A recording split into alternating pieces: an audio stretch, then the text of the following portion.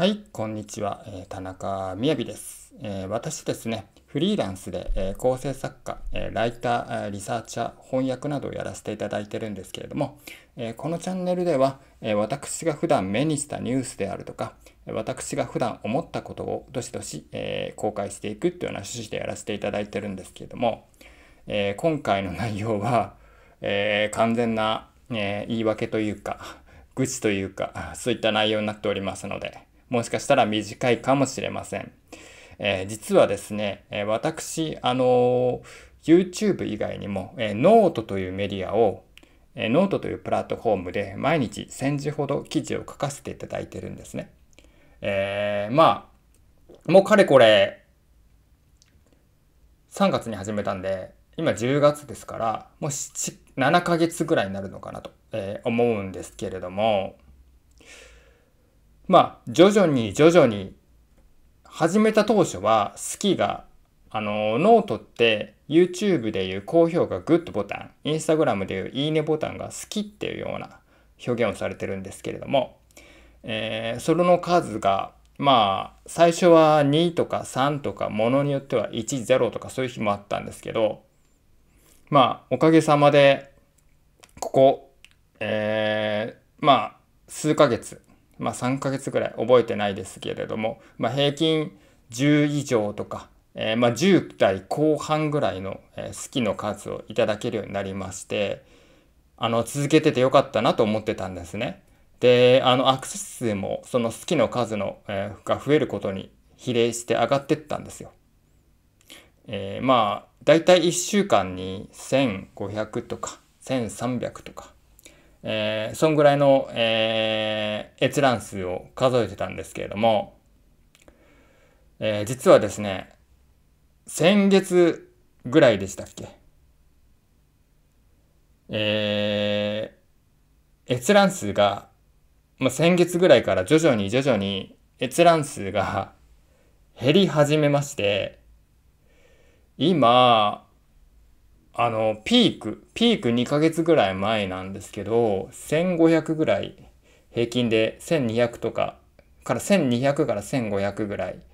えー平均ビューアー数を、えー数えていた私のノートが1週間あたり、最新500ぐらいになっちゃってるんですよね。500です。1200から500。1500から500。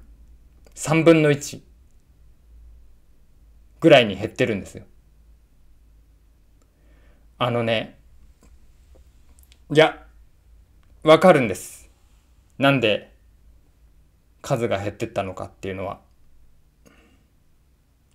同じことしか書いてないんですよ。同じことしか。あの、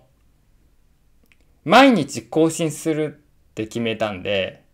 決めたというか流れでやってったら結果的にそうなったっていうのが正しいんですけど、毎日イベントって起きないじゃないですか、そんなに。そんなにその人の人生って、毎日何か面白いハプニングが起きたりとか、えー、出来事が起きたりとか、なんかどっかに行ったりとかって、ないじゃないですか。あの、YouTuber を専業にされてる人とかだったらまた別だと思うんですけれども、私の仕事って、家で基本的に締め切りまでに、えー成果物をあげる、納品するものをあげるっていうものなんですよ。なので、そのどっかに行って誰かに会うとか、なんか、こう、外に出て何かをするとか、誰かと話して、何か、えー会社に利益をもたらすとか、そういう仕事じゃないんですよ。ひたすら机に向かって書いて、ひたすら机に向かってパソコンで作業して、それなんですよ。それをしないと僕はお金が得られないんです。それをしないと僕は生活していけないんです。なので、必然的にこの同じ毎日を送らなければいけないんですよ。僕はそのあの、基本的に365日毎日働いているんで、あの土日とかも、あの、仕事があれば動くっていうような形になってるから、そんなに、えー、固定的な休みとかってないんですね。なので、下手をしたらずっとずっと、こう、机でパソコンに向かって書いてるんですよ。なので、何もハプニングが起きないんです。僕の生活は。で、同じことをずっとずっとずっと、もう半を押したように同じ毎日を送ってるんです。僕はその、起きて、えー、これを撮影して、で、あの、まあ、ご飯を食べるなりするじゃないですか。で、その後、お仕事を始める。で、例えばその、外に、たまに外に行かないといけない日。あの、僕あの、脱毛とかやってるんで、そういう予約があったりとか、髪切りに行ったりとかしなきゃいけないじゃないですか。で、なんかこう、何か物が壊れたら買いに行かないといけないし、えー、そういう時もあるんですよ。そういう時は、その、お仕事前に、夕方までの間になるべく済まそうと思って、えー、この時間ぐらいから外に出るんですけど、今、13時くらいなんですね。まあ、上げてるのは14時なんで、まあ、そんぐらいの時間帯に外にいる時も、えー、なきにしもあらずなんですけど、ただ、別に外に行ったからといって、必ずしも何か起きるわけじゃないじゃないですか。あのー、で、目的地の場所があるんで、別にその、あの、ふらふらふらふら、そこら辺をほっつき歩いてるわけじゃないから、しかもこの年、僕40歳なんですけど、この年齢でそのふらふら外をほっつき歩いてると昼、平日の昼間に、あの、変な目で見られかねないとなと思ってるんで、あの、なかなかそれもできないなって思ってるんですけど、ってなってくると、やっぱりイベントが起きないんですよ。東京、今、僕東京という街に住んで、住んでるんですけどね。大都会ですよ。大都会なんですけど、あの、大都会だからといって、日本で一番大きな都市だからといって、あの、別の地方に住んでる方わから、わからないかもしれないですけれども、何かその面白い出来事に満ち溢れてるとか、その映画みたいな、ドラマみたいな人生を送っている人たちがいる。そういうわけじゃないんで、特に僕の場合は、その、仕事柄人ともあんまり直接関わることはないですし、あのー、まあ便利は便利ですけど、どこに行くにも電車で行けちゃうんで、ないし徒歩で行けちゃうんで、えー、そういった場所に行くと、で、帰ってくると仕事をすると、で、ご飯を食べると、で、また仕事をすると、で、夜になると僕は走りに行くと。で、帰、走りに終わって帰った後は、あの、シャワーを浴びて、英語のレッスンを受けて、で、さらにまた仕事をする。えー、もう本を読んだりとか、映画を見たりする場合もあります。その繰り返しなんですね、僕の人生は。僕の人生というか僕の日常は。なので、ノートに書くことって、あの、僕の考えがアップデートされない限り、例えば僕がなんかすんごいいいアイディア思いついたとか、なんかすごいいい人生哲学的なものをひらめいてきたとか、降ってきたとかない限りは、同じことを書くことになるんですよ。それを、あの、皆さんご理解いただきたいなと、あの、思ってるんですね、僕は。それを、あの、理解いただかないことには、その、あの、結構難しいなと、えー、思っている、えー、節がありまして。ただ、あの、僕も何かその、ハッピーな、出来事あったら共有したいし、逆に何かショッキングな出来事があったら、全然そのノートにネタにしていきたいなと。思っているんですけど、ね、なかなかこの、日常ではハプニングは、起きづらいなと 思っている 節がありまして、え、ちょっとね、僕自身はすごくそこのあたりに今減ってきてるから、え、どうしていけばいいかなって、え、悩んでるところではあるんですけど、ただ、その、同じこと書くことって、こっからはちょっと僕と個人的な考えなんですけど、あの、僕のノート、あの、最初からご覧いただいている人ってそんなに多くないと思うんで、あの、大体そのインターネット検索で、え途中から、えー、なんか僕のアクセスに、僕のノートのタイトルが引っかかったりなんかして、で、読んでみて、そこから読者になられた方とかもいらっしゃいますし、そこから定期的に覗くなった方もいらっしゃると思うんで、あの、同じこと書くっていうのも、割かし、あの、効果はあると思うんですね。なので、あえて同じこと書いてるようなところもあるんです。あの、やっぱりその、繰り返し繰り返し言わないと、人ってその自分のことって分かってもらえないんじゃないかなって思ってる部分があるんですよ。あの、やっぱり繰り返し自分のことを表現する、自分が何を考えているかってことを表現することによって、この人はこんな人間なんだっていうのが、僕はちょっと伝わってくるんじゃないかなと思うんですね。もちろん最終的には会ってみないとわからないんですけれども、ただその、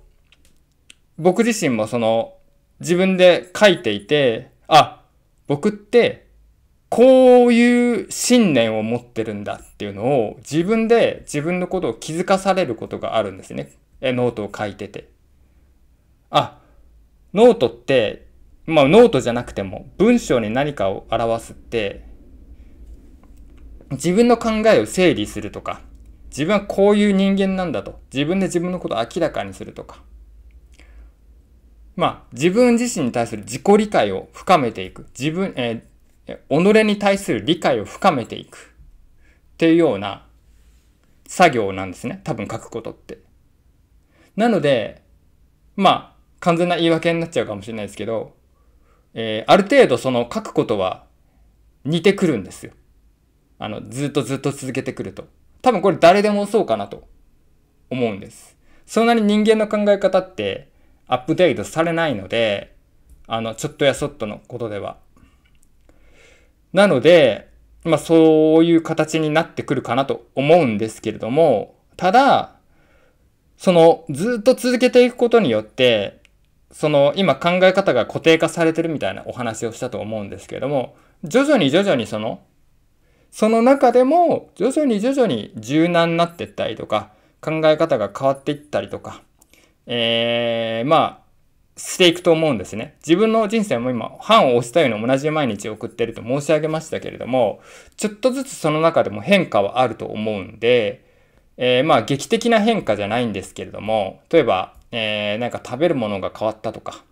え毎日の習慣に何か加わったとか、例えば、え僕だったらこの YouTube 撮影が加わってたりするんで、まあ、そういった形で徐々に徐々に、えー、変わってったりすることだから、その中でまた気づくこともたくさんあると思うし、例えば僕だったら、あの、喋り方おかしいなって思ったんで、自分で。あの動画自分で見てて。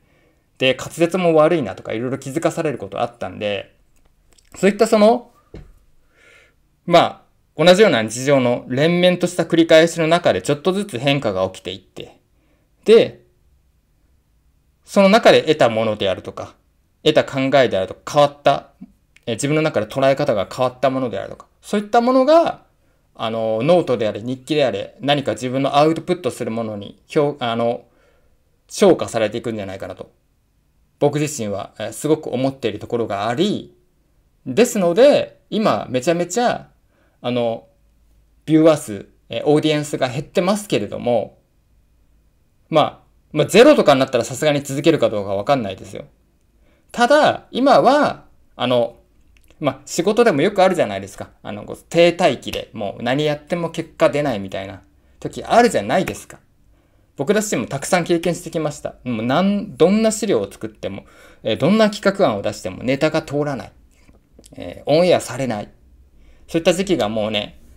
あのー、もう実力と関係なく来るんですよ、そういうのって。あの、スランプでもうスランプというか、スランプって思ってないんですけど、自分ではそう。波みたいな感じでこう、この日は調子いい、この時は、この時期は調子いい、この時期は調子悪いっていうのもずっとずっと繰り返していくんで、で、まあそれは仕事単位にもって言っても違うし、この仕事はこれ調子いいけど、この仕事は調子悪いみたいな時もあるんで、まあその繰り返しなんですよ。なんでノートも今、そういう停滞期に入っていると僕は信じたいんです。僕は信じたい。このまま落ちていく可能性もあります、オーディエンスが。だけど、ただの停滞期なんだと。何か、その、思いがけない、えー、ビューアー数を獲得するような記事ができたらまた伸びてくるかもしれないんで、で、あの、こうやって狙って出せるものじゃないから、もうずっとずっと今日言い訳してますけど、あの、狙って出せるものじゃないです。本当に。なんか、本当に今まで突発的に視聴者が増えた僕のノートも、そんなにこの、狙った記事じゃなかったんですよ。あ、なんかもう、こんなん絶対無理だろうとか、えー、絶対今日はもう、今回の記事は好好きがつかないと思ったような記事がいきなりもう30とか40とかバーンって好きがついて、で、結果、えー、登録してくれるフォロワーの数が増えたみたいなことがあったんで、まあ、そういった、まあ結構運め、運頼みでもあるんですけれども、そういったものにも期待しながら、えー、まあなるべく続けたいなと思っておりますので、えもし私のノートをご好意でご覧になっている方々、引き続き良ければお付き合い願いたいなと思っています。あと、この YouTube でノートを、えー、知られた方、えー、もうすべて無料になってるんで、えー、いつかマネタイズしたいですけれども、正直、え、お読みいただければと思います。あの、版を押したような同じ日常を送っている、え、おじさんの、えー、記録が読めますので、まあ、大体あの、格言的なこととか、えー、人生論的なこととか、えー、お仕事論とか、えー、そういったことに、えー、いろいろ触れてるんで、えー、まあ、普遍的な物事に触れてるんで、えー、よければ、えー、ご覧になっていただければとえー、お読みになっていただければと思います。あの、戦時なんで、もう2、3分で読めちゃうと思いますので、えー、ぜひともよろしくお願いします。えー、ご視聴いただきましてありがとうございました。え、この動画が、え、もし良いと思われた方は、え高評価並びに、えチャンネル登録の方よろしくお願いいたします。それでは。